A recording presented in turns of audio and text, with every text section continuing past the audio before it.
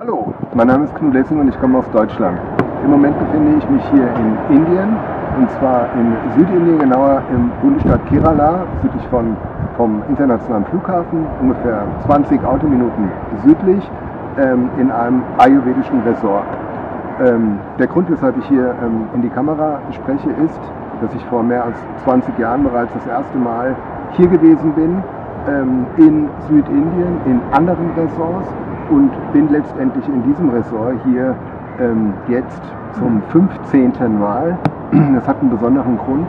Äh, die ayurvedische ähm, Behandlung in diesem Ressort ist extrem ähm, äh, äh individuell und ähm, hervorragend ähm, äh, äh, vom fachlichen äh, als auch von der Durchführung ähm, das ist der eine Grund. Der andere Grund, der hinter mir auch zu sehen ist, ist die Lage.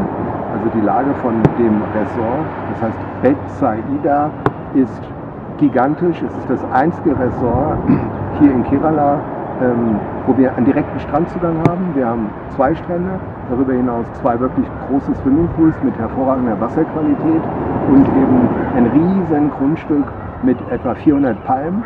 Und ähm, die sind deshalb äh, zu erwähnen, weil die natürlich ein ganz anderes Mikroklima bringen als in den ganzen anderen Ressorts, wo teilweise nicht ein einziger Baum steht. Ja.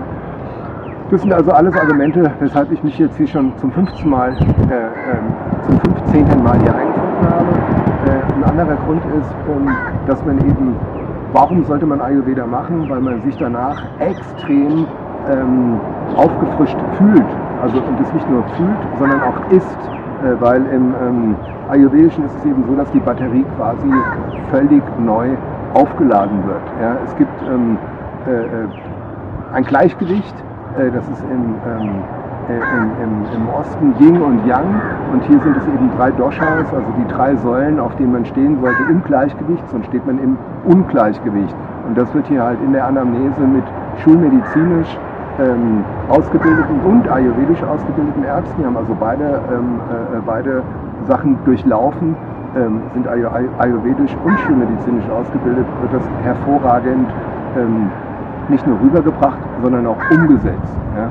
Und ähm, aus dem Grunde, man hat dann circa zwei Stunden ähm, Behandlung am Tag, äh, ist es so, dass man dann in Kombination mit dem Essen, was es hier gibt, was aus dem eigenen Garten kommt, also organisch ist, im Gegensatz zu den meisten anderen ayurvedischen Ressorts, die also kein organisches, sondern zugekochtes Essen haben.